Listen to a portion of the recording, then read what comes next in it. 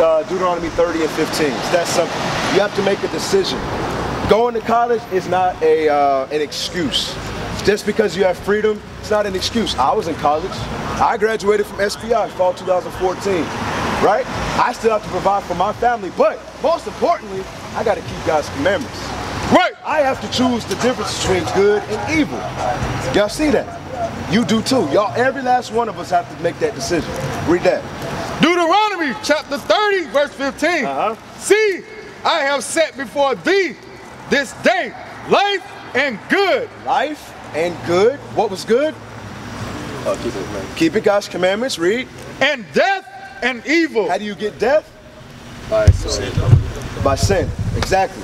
So read it again for the top.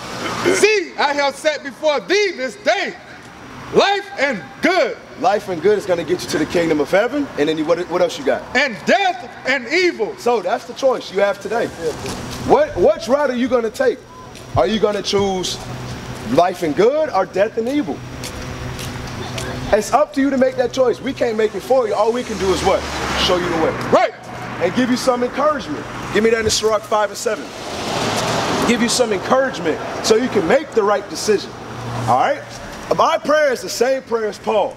I, I wish that all of my people can make it. But I already know what the prophecy says. Only one third of our people will make it. And that's talking about blacks, Hispanics, and Native Americans, not just us, Judah. I'm talking about all 12 tribes. So that means there's going to be a lot of people that are going to get put to death. When you think about that, God says our nation is as the sand of the sea. You can't number it. But he says only one third will make it. It's up to you. Read what you got. Sirach chapter 5, verse 7. Uh-huh. Make no tarrying to turn to the Lord, God says make no tarrying to turn to the Lord. Read. and put not off from day to day. Don't say, you know what? I heard what them brothers said. I heard what God said, but it sounds good, but I want to go to this party. I, I want to go to this chick house tonight. Read. For suddenly, For what? for suddenly Uh-huh. shall the wrath of the Lord come forth, Uh-huh. and in thy security thou shalt be destroyed. Thou shalt be destroyed. Security means when you relax, when you close, uh, when you cut off your apartment light in your room and you chilling, sleeping. In your security, that's when you're gonna be destroyed, when you least expect it, like in a thief in the night. That's the same way Christ's gonna come back.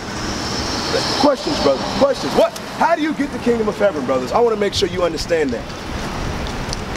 uh, keeping the commandments and doing the right thing. You say keeping the commandments and doing the right thing, which is keeping God's commandments. What about you, brother? Oh, following the laws. Mm-hmm. And, yeah, same thing. Following the laws and keeping to the commandments. Exactly. What about you? keeping his commandments and knowing what sin is and not to do it.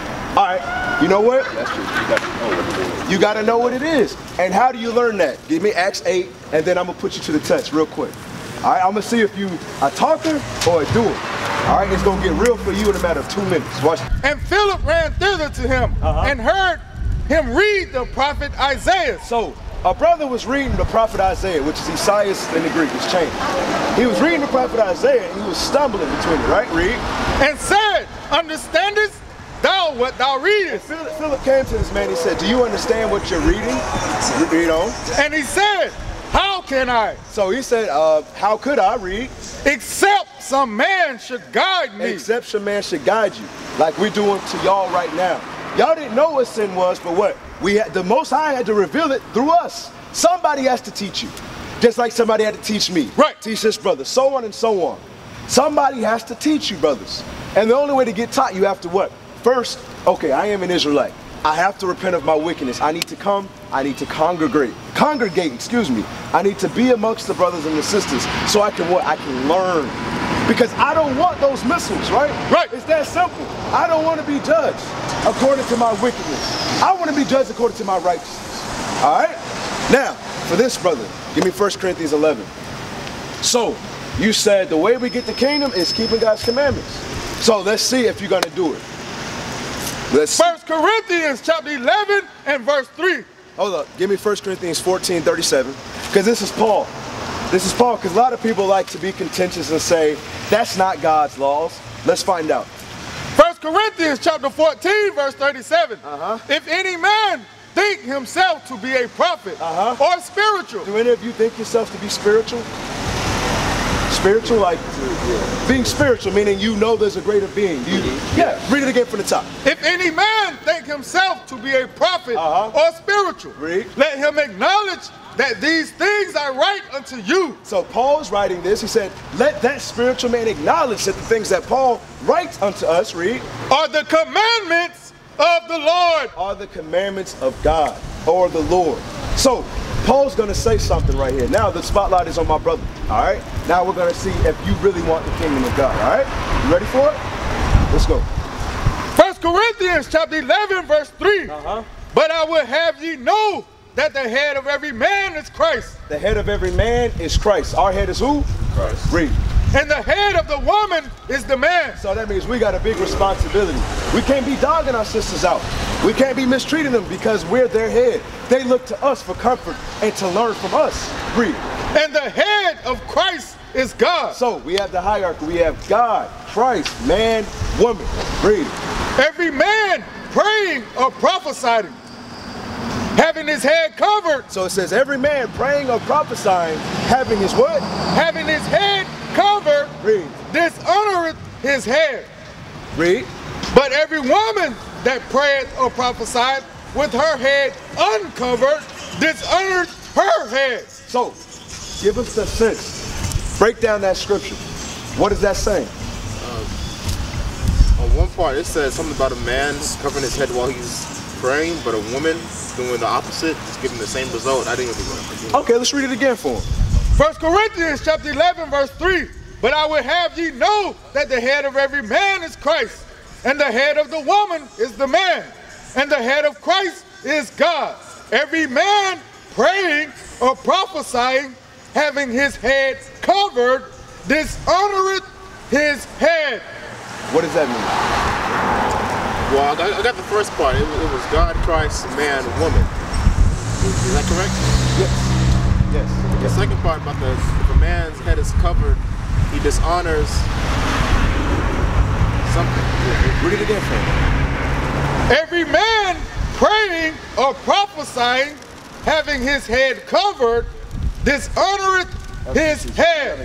But yeah. All right. We appreciate you. All right, brother. No sign cover. Oh yeah. Officer, come back up. Yes, sir. Come back up, brother. Explain this. Uh, before I'm, I'm gonna have him teach but explain it.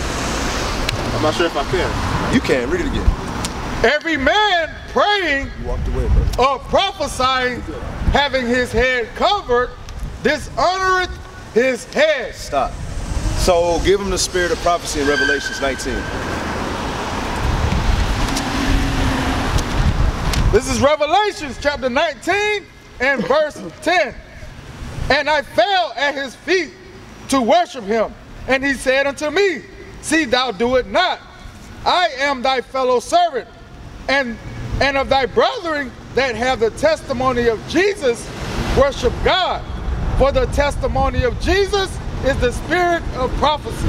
For the testimony of Jesus is a spirit of prophecy. So when we read these scriptures, that's the spirit of prophecy. All right. Now go back and read 1 Corinthians for the brother.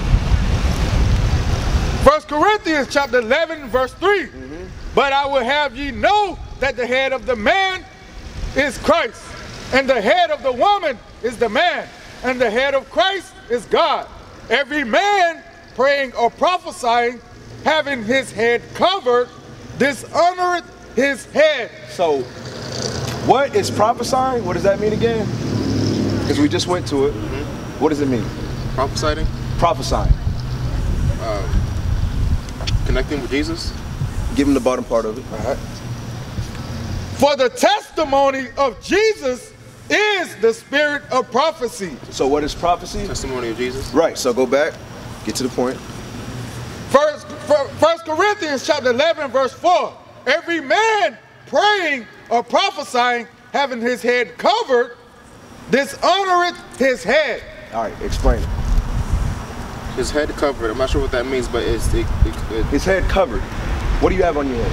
hat. Is that covering your head? Yeah, yeah, it's kind of cool. Right. Read it again.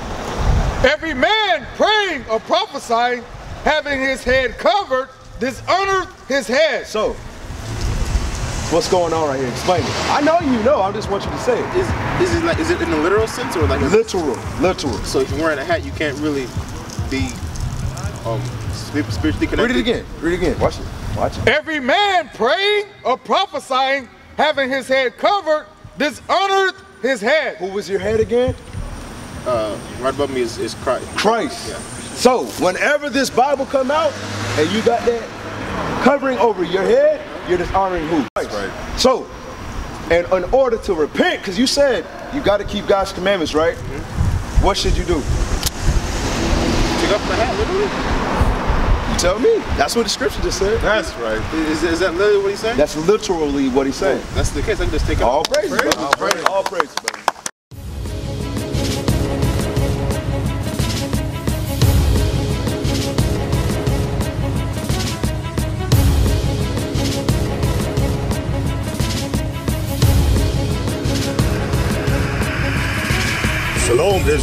I'm Elder Nathaniel Israel United in Christ. YouTube likes to shut our channels down, as some of you have noticed, ever so often. Subscribing to join IUIC will assure you will always stay connected to our YouTube accounts. We want to do our best to make sure this truth gets out. Please click and join our subscriber YouTube channel called Join IUIC to stay linked to all of our videos. So again, please make sure you subscribe to this Join IUIC channel to get your latest updates from all our YouTube channels. Shalom.